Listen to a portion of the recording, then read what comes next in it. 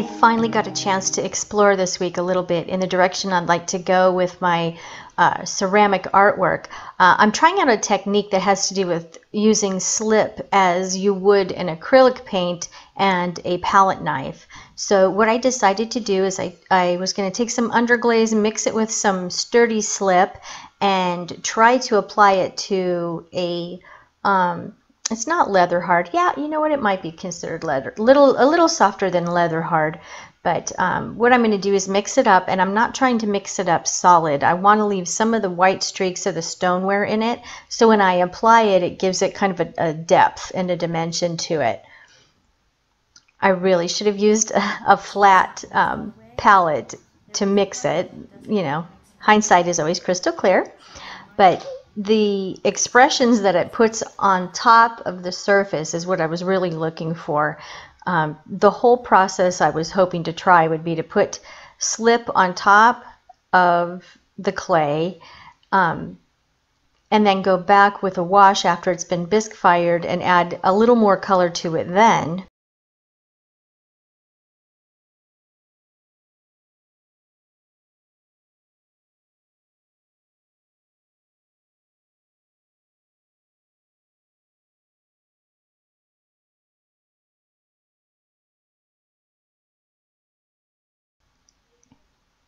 Okay, I'm just really applying it here like you would to a painting. And uh, I've been, I did a couple of them, my first ones ever, and I had so much fun. So I thought, oh, I could not wait to try this in clay.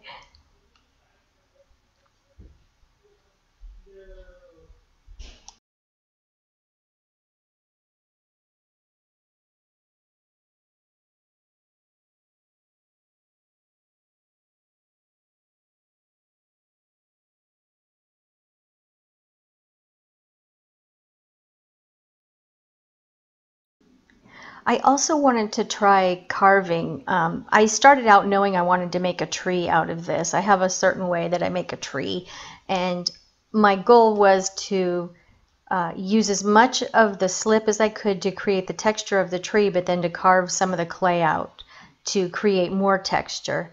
Uh, I'll expand it from here, but this was just my very first try at it.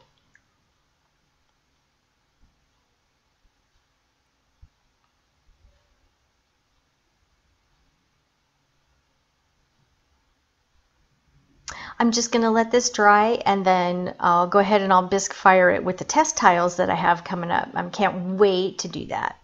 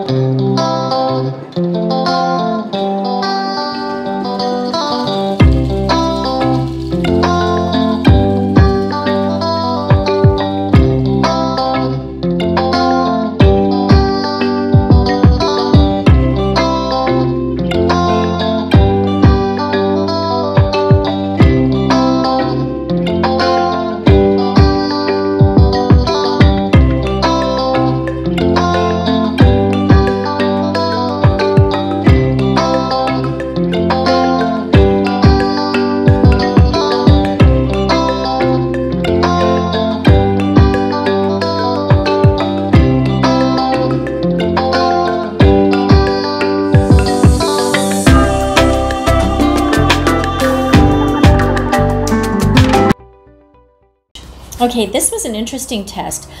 I really want to be able to create textures with slip, but I also wanted to see about adding my underglazes to the same slip and finding out, you know, how that works.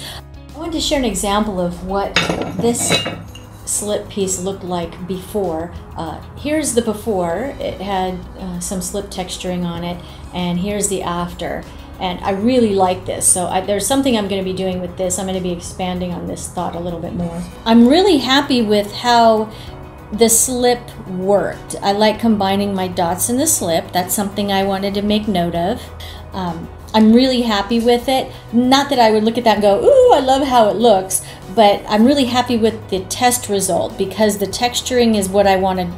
Um, I was really looking for the colored slip, the textured slip and I'm just really happy with these results.